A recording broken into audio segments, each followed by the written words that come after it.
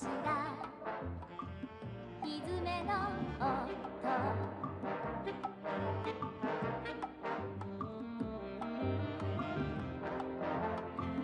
緩やかな丘を縫って駆けてくる馬車。迎えに来るの迎えに来るのね。誰かが私を連れ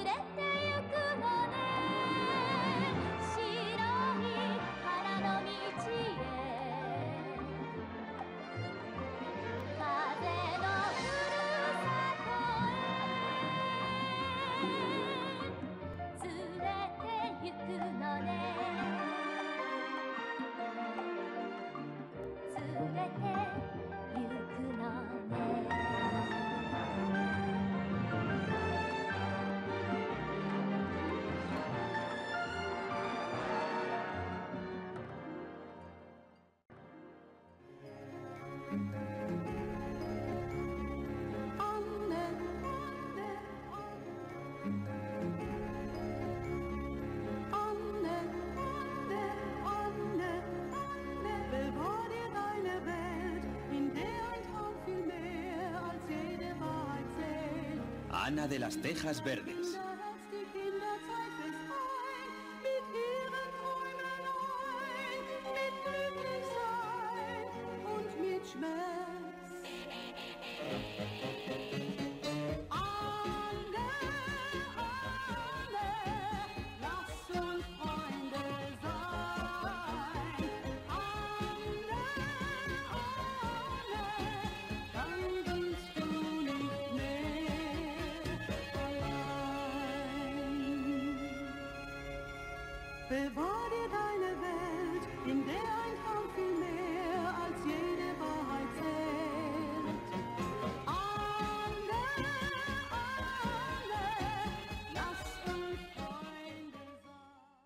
Ana cuenta su vida.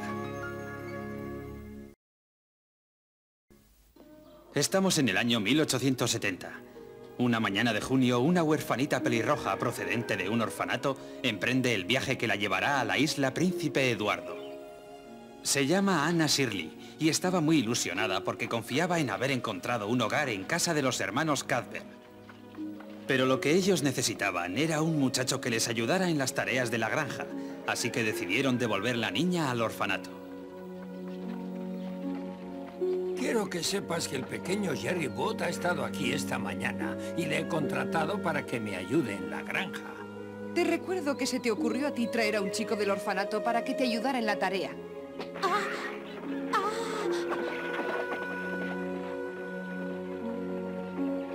Adiós para siempre, Bonnie.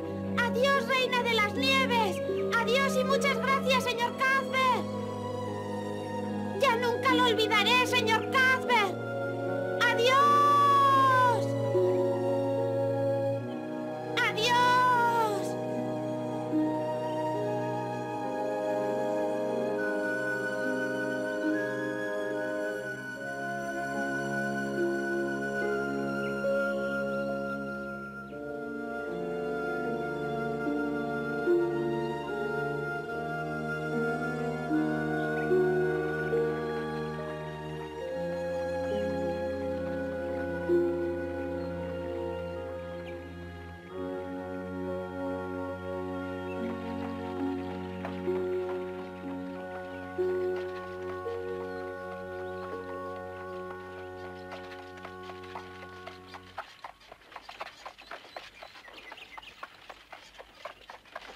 ¿Sabe una cosa? He cambiado de idea, señora Cuthbert. ¿Ah? He decidido que lo mejor es intentar disfrutar de este paseo al máximo. He descubierto que se puede disfrutar hasta de las cosas más sencillas, así que voy a olvidarme del orfanato y voy a concentrarme en el paseo. Oh, mire qué rosal silvestre más bonito. Mírelo bien. ¿No le parece uno de los rosales más bonitos que ha visto nunca? Yo creo que las rosas se sienten felices de ser rosas. Sería maravilloso que las rosas pudieran hablar, ¿no le parece? Estoy segura de que si ellas pudieran hablar, solo nos dirían cosas agradables. Además, el color rosa me gusta mucho, aunque yo nunca puedo llevarlo. Siempre he pensado que a las chicas que somos pelirrojas no nos sienta bien el color rosa. Dígame una cosa, ¿ha conocido a alguien que haya sido pelirrojo de joven y que conforme haya ido creciendo su pelo haya cambiado de color? Creo que no. Y si quieres que te sea sincera, tampoco veo probable que una cosa así te suceda a ti. Vaya, otra de mis esperanzas que se desvanece. Como decía el poeta, mi vida no es más que un organizado cementerio de esperanzas sepultadas. Esa es una frase que leí hace tiempo en un libro. Yo la repito para reconfortarme cada vez que me veo desilusionada por algo. Pues yo no veo cómo puede reconfortarte una frase tan pesimista como esa, Ana. No me diga. Yo, en cambio, la encuentro una frase muy romántica y con mucho sentimiento. Quizás sea porque cuando la digo en voz alta me siento como la heroína de una novela famosa.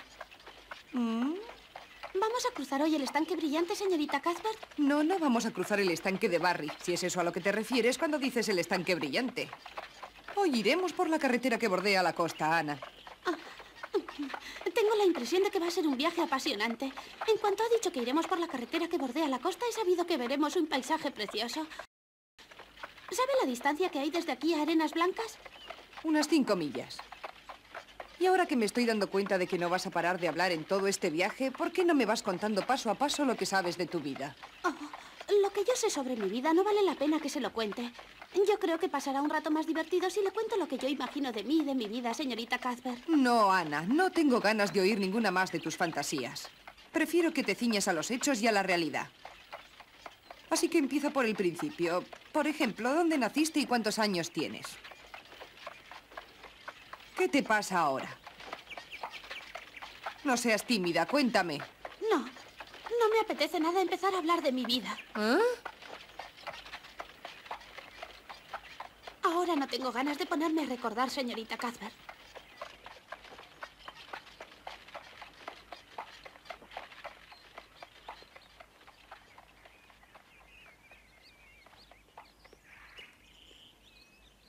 Buenas tardes, Marila. ¿Es esta la niña que habéis recogido del orfanato? La verdad es que me sorprende un poco porque Raquel me dijo que lo que habéis recogido era un chico. No me explico cómo una mujer tan meticulosa como Raquel haya podido confundirse en una cosa tan evidente. No, no ha sido Raquel la que se ha confundido. Hubo alguna clase de error en el orfanato y nos entregaron a esta niña en vez del niño que queríamos. Vaya por Dios. Pues os han hecho una faena tremenda, Marila. ¿Cómo han podido confundirse? No tengo ni idea. Estoy tan sorprendida como tú. Ahora mismo nos dirigimos hacia Arenas Blancas para hablar con la señora Spencer y tomar una decisión al respecto. Ya entiendo. Si se trata de un error, la devolvéis al orfanato y asunto arreglado. Aunque supongo yo que se llevará un mal rato la pobre. Vas a disculparnos, querida, pero... ¿Ah? ¿Ah? Ana, ¿puede saberse qué rayos te ocurre ahora?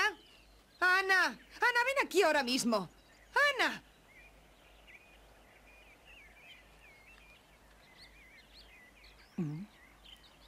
Siento haber hablado tanto. Quizás he dicho algo que haya molestado a la niña. Adiós, Marila. Ahora tengo que irme.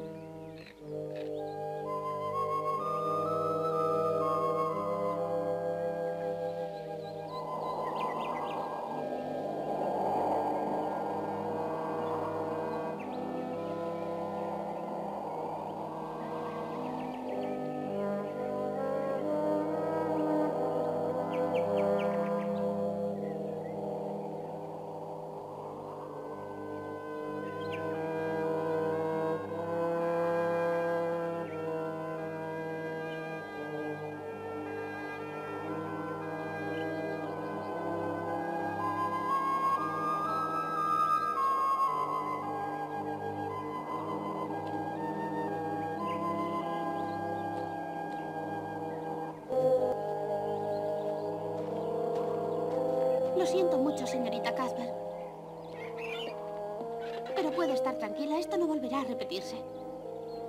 Yo también te pido disculpas. No he tenido en consideración tus sentimientos. Gracias. Y ahora, si quiere, le contaré la historia de mi vida. Y empezaré por el principio, como usted quería.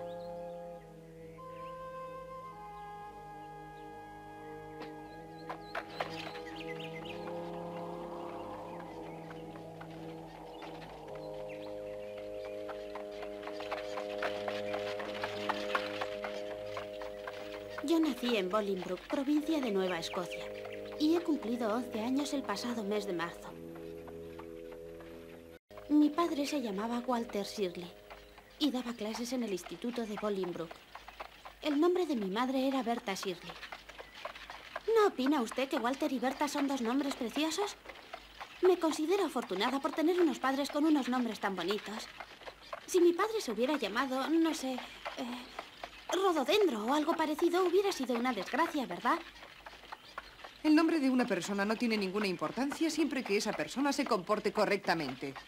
Bueno, no lo sé. Leí una vez que si una rosa se llamara de cualquier otra manera, seguiría oliendo igual de bien. Pero es una idea con la que nunca he podido estar de acuerdo. Algo dentro de mí me dice que no puede ser. Aunque le parezca una tontería, me cuesta creer que el aroma de una rosa fuera el mismo si se llamara cardo o lechuga. Es por esa razón por la que creo que mi padre hubiese sido un hombre muy desgraciado si se hubiera llamado rododendro. Bueno, creo que ya hemos hablado suficiente tiempo de nombres y de rosas. Ahora vuelve a tomar el hilo de la narración y sigue hablando de los padres. Según creo, mi madre también fue una profesora muy buena hasta que conoció a mi padre y se casó con él. En cuanto se casaron, construyeron una coqueta casa amarilla en el mismo Bolingbroke y se fueron a vivir a ella. Si le digo la verdad, yo nunca he visto esa casa, pero me la he imaginado miles de veces.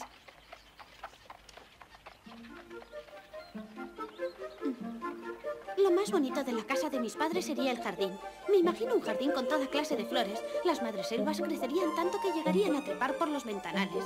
Y las lilas del valle, las azucenas y los lirios destacarían en el jardín como destellos de alegría.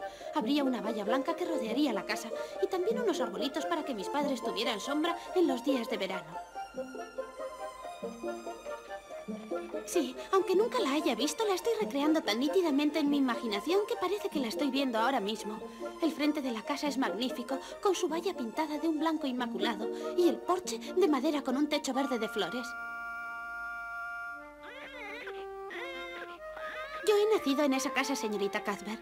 La señora de la limpieza, la señora Thomas, solía decir que yo era el bebé más feo que había visto en toda su vida. Parece ser que yo era muy delgada y pequeñita. Tenía una gran cabeza y unos ojos enormes. Oh, aunque pensándolo bien, todavía sigo siendo así, ¿no cree? En cambio, la señorita Thomas decía que según mi madre yo era una niña guapísima. Y creo que la opinión de una madre es más importante que la de una mujer que viene a limpiar la casa. ¿No cree lo mismo, señorita Cuthbert?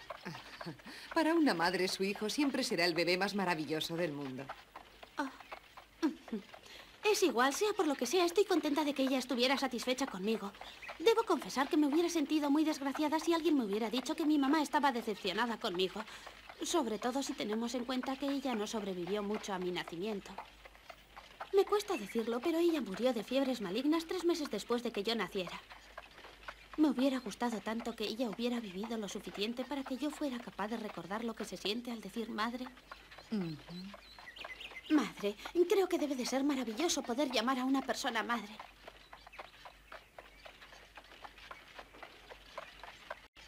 Cuando estoy leyendo y veo la palabra madre, siempre me imagino que soy yo la que la dice. Así que me pongo en el lugar del personaje y vivo la situación. Madre, ven. O, eh, madre, cuánto te quiero. O también, mamá, no te vayas, por favor, no te vayas.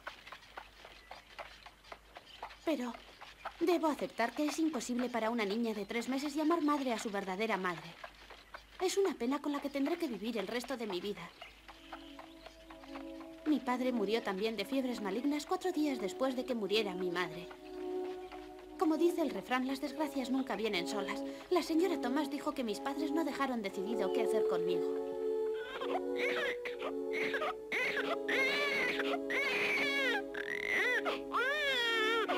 Ya ve, desde que yo llegué a este triste mundo he sido una persona a la que ha perseguido el infortunio.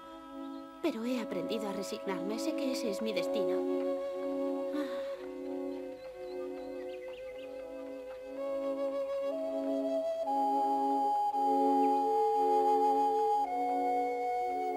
Llegado este punto de la narración, Ana se calló y guardó silencio durante un buen rato. Marila, por su parte, tampoco le hizo más preguntas. Respetaba el silencio de la niña y esperó a que fuera ella la que comenzara de nuevo con la narración de su vida.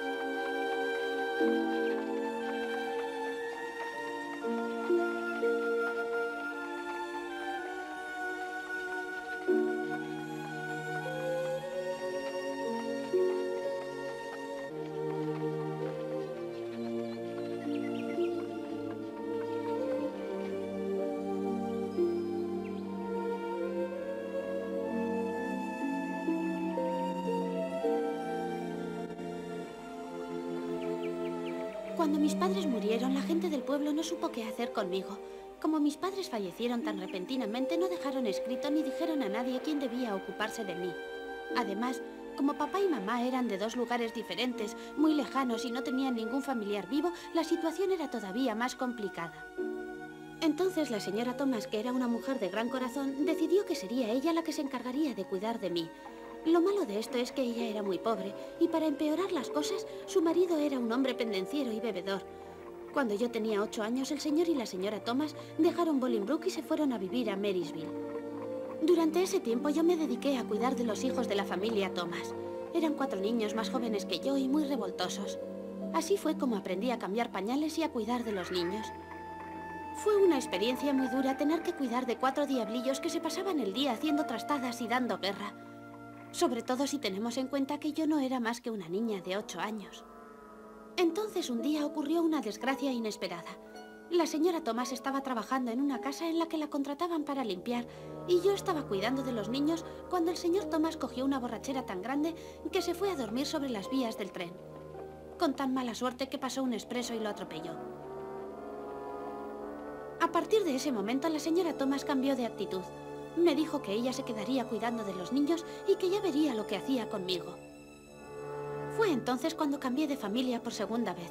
La señora Hammond, que vivía en un lugar muy apartado de Marysville, vino al pueblo y se entrevistó con la señora Thomas. Cuando supo que yo tenía mucha experiencia cuidando niños, me tomó a su servicio y me llevó con ella. Vivía bastante alejada del pueblo, en una tosca casa de madera situada en un pequeño claro del bosque. Era un sitio muy solitario. Estoy segura de que no hubiera soportado vivir allí si no hubiera sido porque mi gran imaginación me ayudaba a sobrellevarlo todo. El señor Hammond, por su parte, trabajaba en una pequeña serrería que estaba en el mismo bosque. La señora Hammond tenía ocho hijos y lo más curioso era que de entre los ocho tenía tres parejas de gemelos. A mí siempre me han gustado los niños, señorita Cuthbert, pero tener gemelos tres veces seguidas es excesivo. Cuando se lo comentaba a la señora Hammond, ella siempre me respondía que eso era deseo del señor.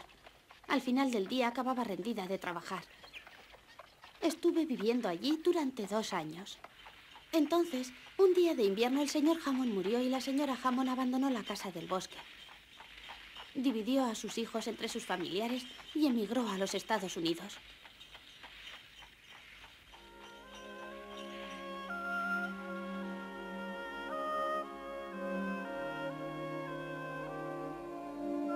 Así fue como me quedé sola y desamparada otra vez.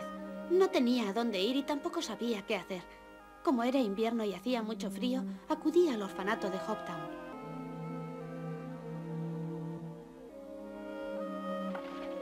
La verdad es que tengo tan mala suerte que tampoco en el orfanato me quisieron. Había tantos niños que no tenían sitio. En ese momento yo estaba desesperada, pero apareció la señora Spencer y me buscó un hueco.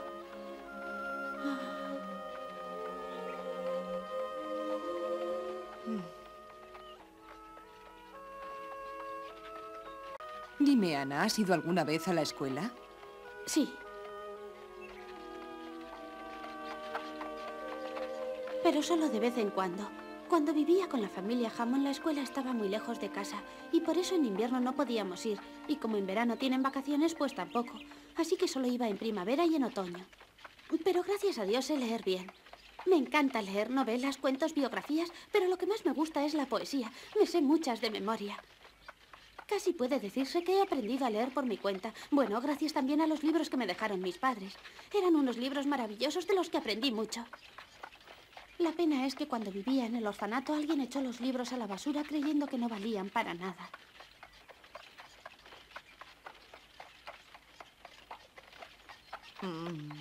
Dime, esas dos mujeres que mencionas, la señora Thomas y la señora Hammond, ¿te trataron bien cuando estuviste con ellos, Ana?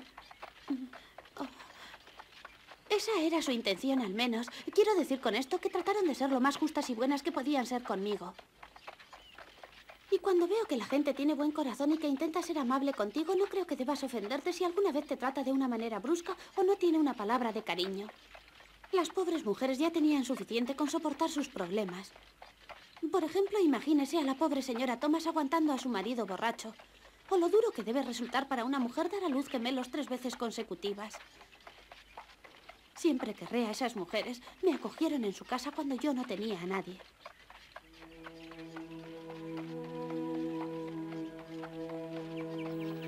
Marila decidió no hacer más preguntas. No solo había quedado impresionada por la vida que había llevado Ana hasta ese momento, sino que también estaba agradablemente sorprendida por la entereza con la que la niña había sobrellevado todas sus tribulaciones. Bajo su apariencia frágil se escondía un corazón rebosante de amor y un ánimo y determinación poco frecuentes en una chica de su edad. Ana también guardó silencio durante un rato. Como había decidido al principio del viaje, estaba disfrutando del paseo con toda su alma. Además, la vista del mar y el sonido de las gaviotas aumentaron su alegría.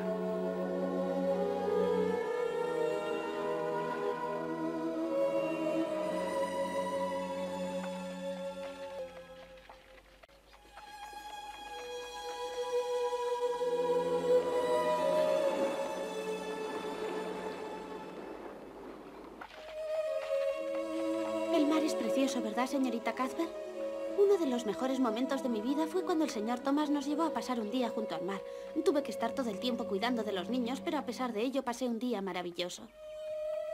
Fíjese si guardo buenos recuerdos de aquella jornada, que cuando quiero pensar en algo agradable para animarme, pienso en aquella maravillosa mañana que pasé con la familia Thomas junto al mar.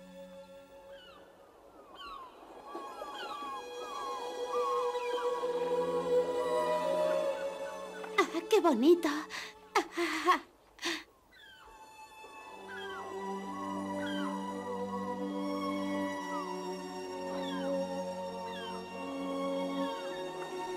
Cómo me gustan las gaviotas. Es uno de los pájaros más bonitos. Me encantaría ser una gaviota. Debe de ser maravilloso despertarse al amanecer y zambullirse en el agua. Cómo las envidio, señorita Cuthbert. Creo que son unas de las criaturas más libres y felices que hay en todo nuestro planeta. Pero, ¿podría decirme qué es esa gran casa de enfrente? Ese es el Hotel de Arenas Blancas, Ana. Es un hotel muy elegante donde vienen gran cantidad de americanos a pasar las vacaciones de verano. He pensado que se trataba de la casa de la señora Spencer. No quiero llegar a su casa, porque tengo la sensación de que cuando lleguemos se truncarán mis esperanzas.